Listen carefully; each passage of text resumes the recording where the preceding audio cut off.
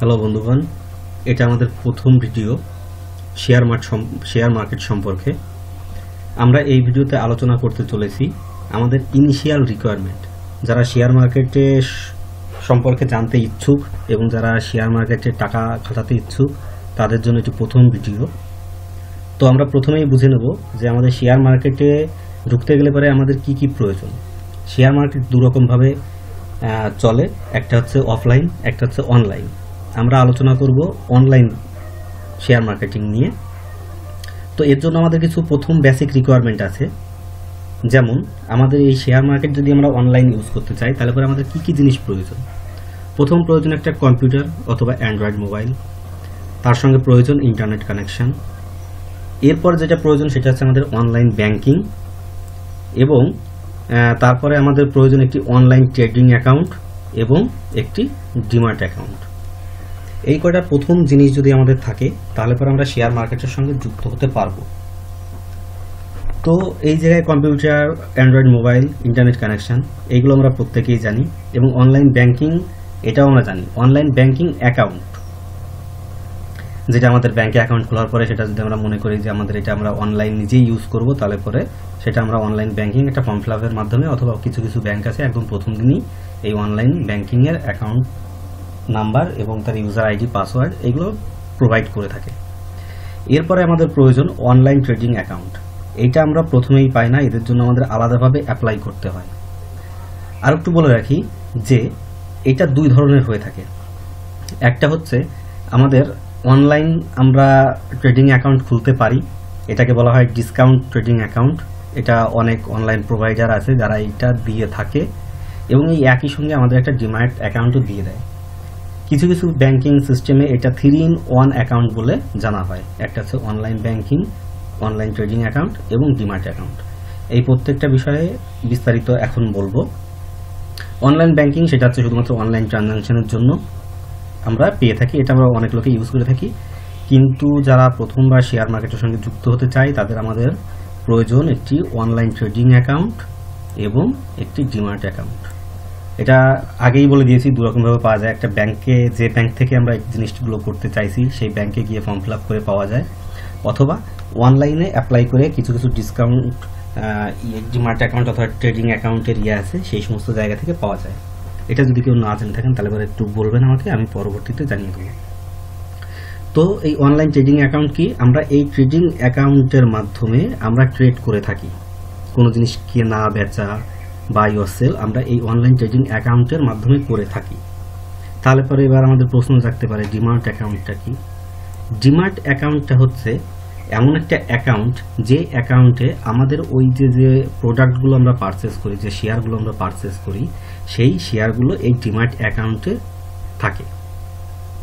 তো অনেকটা বলা যেতে পারে যে আমরা যখন কোনো বাজারে গিয়ে কোনো কিছু কিনছি, তো যদি আমরা সেইখান থেকে কিনে সেখানেই বিক্রি করে দিই বা সেখান থেকে বিক্রি করে দিয়ে সেখানেই যদি আমরা প্রফিটটাকে নিয়ে বাড়ি চলে আসি, তাহলে পরে আমাদের সেটাকে বাড়ি সেই শেয়ারটাকে আমাদের বাড়ি পর্যন্ত আনার কোনো প্রয়োজন নেই। কিন্তু যদি এমন হয় যে আমি কোনো একটা জিনিস কিনলাম এবং সেই দিন আমি বিক্রি করলাম না, তাহলে পরে সেই জিনিসটা আমরা কোথায় রাখব?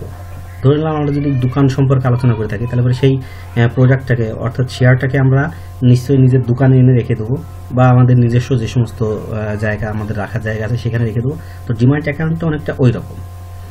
যে সমস্ত শেয়ার আমরা দিনে, দিন পারচেস করি এবং সেই দিনই বিক্রি করে দিই, সেগুলো আমাদের এই ডিমার্ট অ্যাকাউন্ট অর্থাৎ দোকান স্বরূপ জায়গাটায় এনে রাখার কোনো প্রয়োজন নেই। কিন্তু যেটা আমরা মনে করি যে, না, আজকে আমরা এটা বিক্রি করব না, আমি নিয়ে যাব সঙ্গে করে তারপরে সেই অ্যাকাউন্টটা থাকবে বা সেই শেয়ারটা থাকবে আমাদের কোথায়? এই ডিমার্ট অ্যাকাউন্টে তো এটা চলে গেল আমাদের বেসিক রিকোয়ারমেন্ট তো এরপরে আমাদের মেন যেটা প্রয়োজন, সেটা হচ্ছে আমাদের শেয়ার মার্কেট সম্পর্কে বিস্তারিত একটা নলেজ প্রয়োজন। এই নলেজ না থাকলে পরে শেয়ার মার্কেটে প্রত্যেকের লস ছাড়া জীবনে কোনো দিনও লাভের মুখ সে দেখতে পাবে না। অর্থাৎ আমাদের একটা ভালো নলেজের প্রয়োজন আছে। তো এই নলেজের প্রথমেই আমরা চলে যাই ট্রেডিং টাইপ তো আমাদের এই পর্যন্ত ইনিশিয়াল রিকোয়ারমেন্ট যা আছে সব কিছু আমরা পেয়ে গেলাম। তো তারপরে আমরা কি করব? তারপরে আমাদের ট্রেড করতে হবে। বাই করতে হবে সেল করতে হবে। তার মাধ্যমে আমাদের প্রফিট আসবে। তো এই প্রফিট ট্রেডিং টাইপটা কেমন হয়? ট্রেডিং টাইপটা দু রকমের হয়। অনেক রকমের হয়, আমি আপাতত দু রকম বোঝাচ্ছি। পরবর্তীতে ভিডিওতে বাকিগুলো আস্তে আস্তে করে বোঝাবো। তো প্রথম হচ্ছে আমাদের ট্রেডিং টাইপ করকম। ধরে নিচ্ছে দু রকম। আজকের ভিডিওটার জন্য। সেটা হচ্ছে, একটা হচ্ছে ইন্টারডে ট্রেডিং আর একটা হচ্ছে ডেলিভারি তো ইন্টারডে আর ডেলিভারিটা কি? ইন্টারডে মানে হচ্ছে ডে ট্রেডিংও বলে এটাকে। মানে যেদিন বিক্রি করব সেদিনই কিনবো, অথবা যেদিন কিনবো সেই দিনই বিক্রি করব। এটাকে আমরা বলব ইন্টারডে ট্রেডিং আর একটা কি হচ্ছে? ডেলিভারি ডেলিভারিটা কি? তাহলে পরে আমাদের ডেলিভারি ট্রেডিংটা হচ্ছে, আমরা যে জিনিসটা, যে শেয়ারটা আমরা পারচেস করছি সেটা বাই হতে পারে বা সেল হতে পারে, সেটাকে আমরা সেই দিনই সেটাকে বিক্রি করছি না বা অথবা কিনছি না। ব্যাপারটা একটু গোলমিলাল মনে হচ্ছে। আপাতত প্রথমে কেনাটাকে বলি মানে প্রথমে বাই করব, তারপরে সেল করব।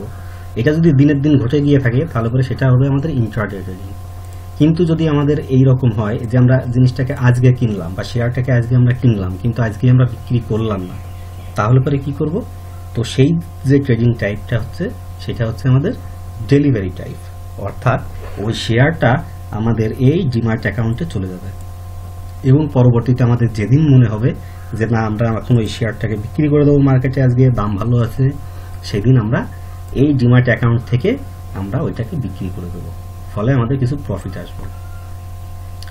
তো এটা গেল আমাদের ইন্টারডে ট্রেডিং আর চলে গেল ডেলিভারি ট্রেডিং এইবার আমাদের প্রথম, আমরা ট্রেডিং টাইপ যাই করি না কেন, সেখানে আমাদের মুখ্যত দুটো জিনিস প্রয়োজন। একটা হচ্ছে বাই আর একটা হচ্ছে সেল এই দুটো হচ্ছে অর্ডার টাইপ এই দুটো অর্ডারই আমাদের প্লেস করতে হয় হয় বাই অথবা সেল তো বাইটা কি?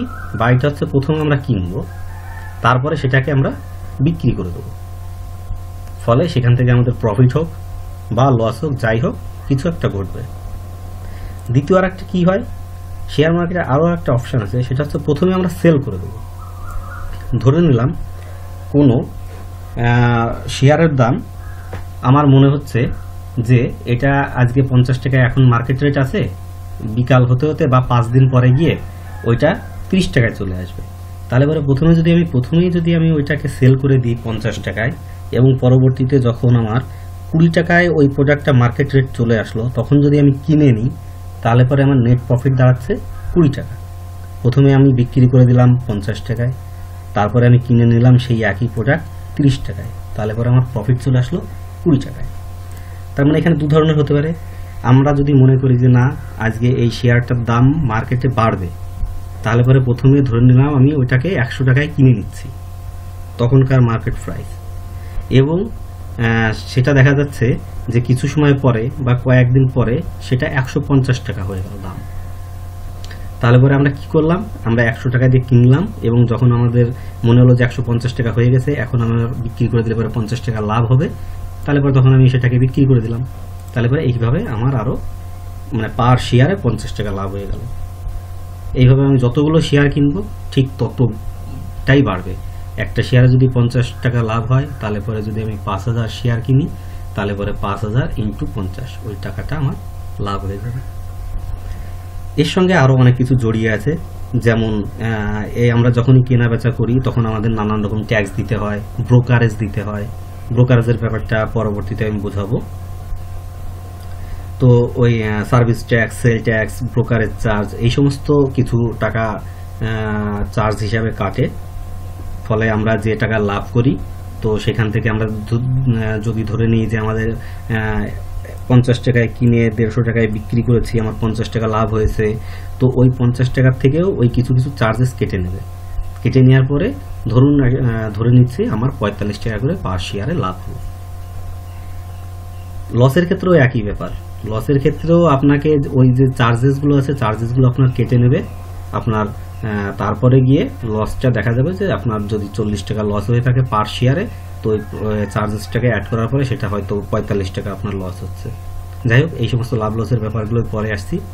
আমাদের এই সময় প্রয়োজন আগে শেয়ার মার্কেট সম্পর্কে ভালোভাবে একটা আইডিয়া নিয়ে কি করে আমরা প্রফিট করব, কেউই চায় না লস করতে, কি করে প্রফিট করব সেই বিষয়টাই এগোবো। আর প্রফিট করতে গেলে পরে বিস্তারিত জ্ঞান থাকার প্রয়োজন। সুতরাং পরবর্তী ভিডিওর জন্য আমন্ত্রণ রইল।